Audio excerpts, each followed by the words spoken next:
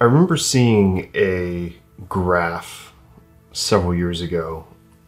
I'll try to find the image and put it up here on screen, but basically the gist is that as you, you, you start on a project, you kind of start in and you're going up with in, increasing confidence. Your x-axis is kind of your knowledge, your time that you spent on something, and your y-axis is essentially your confidence.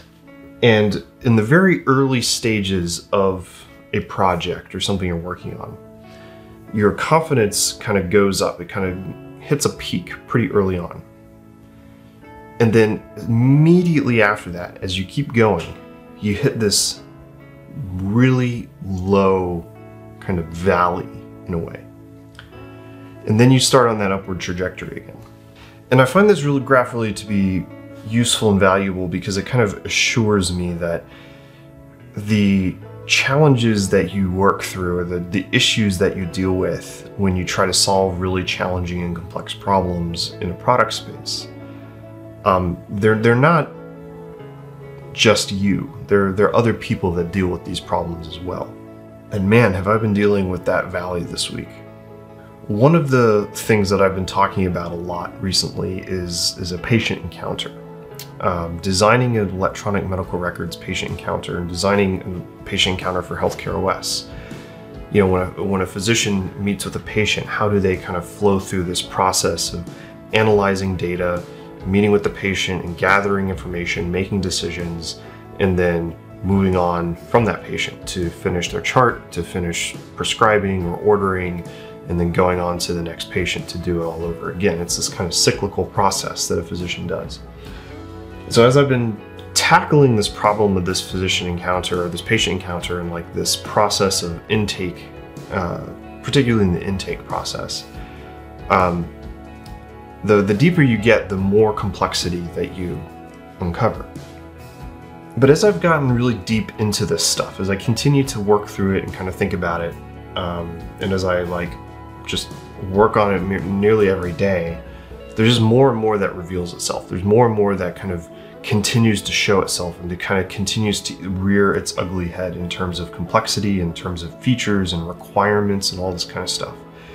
Um, in terms of like how do I how does a user flow through and add things and then how do they delete things or do they can they even add things? Like there's all these challenges that are uh, that keep coming up inside of this and this is all compounded by the fact that I'm not a physician so I don't necessarily know the proper terms to use. I don't know necessarily the proper like like it could be this term this is what other people call it but it could it might make more sense to be this term. Like i don't necessarily have that intuitive knowledge.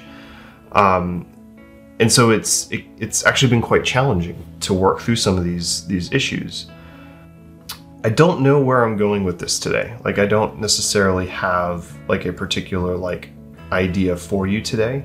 Um, but one thing that i want to maybe just encourage you on because if you're out there and you're thinking about starting something or you're thinking about trying to make something you're going to hit that too. You're going to hit you're going to get this confidence and you're going to go through that valley. And i found it to be kind of a, a process. It's also cyclical. Everything is cyclical i guess where you you you get you get this huge amount of confidence and excitement and, and just energy and then you kind of dip and you're kind of like crap, like how am I doing this? How does it work? What am I even doing here? Should I be doing this? Like all these things uh, that that rear its their head, and and they most of these things are, are narratives that are trying to tell us like we are not worth that, or that we are not capable of that, and those things I think we need to be mindful of where they come from because they may or may not be true. They might be distortions that that are trying to kind of keep us from fulfilling maybe something that we really truly want to do.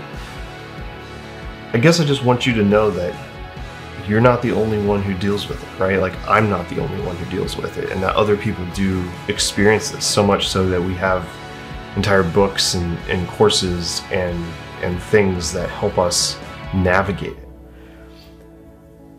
With that being said, I do think that there are some things, particularly as a designer or somebody who might be building a product that you can do, and the things that I'm looking forward to doing um, in the coming days and weeks that I think will be very useful and can be helpful.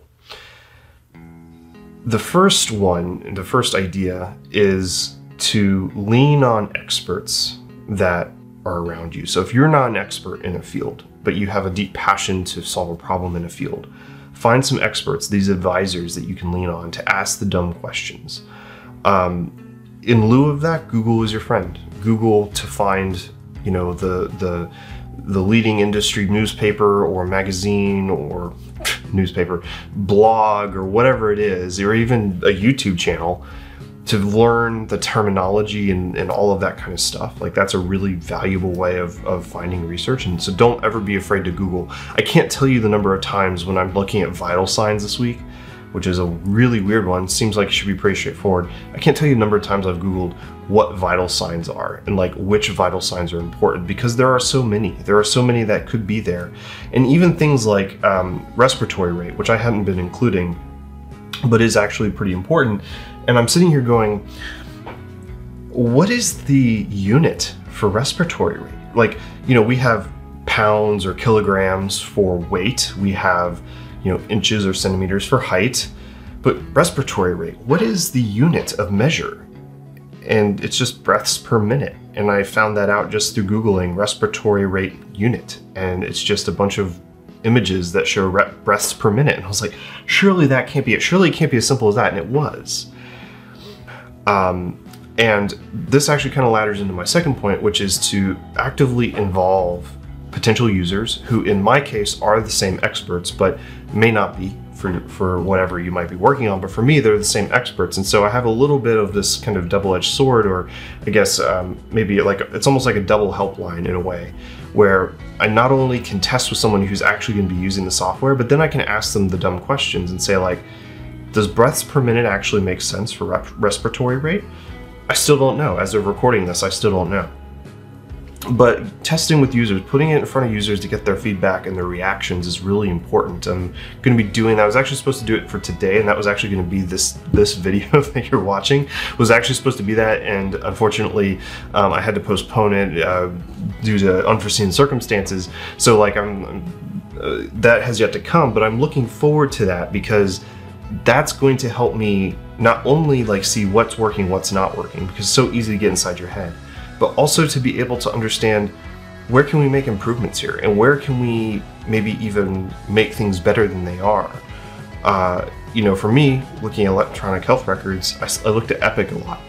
I looked at Epic almost always for like what is best best practice. So this leads me down lots of YouTube rabbit holes and screenshot rabbit holes and things and a lot of it is intelligible, but a lot of it is also unintelligible. And so I'm sitting here going, well, Epic's doing it this way, but is that really necessary?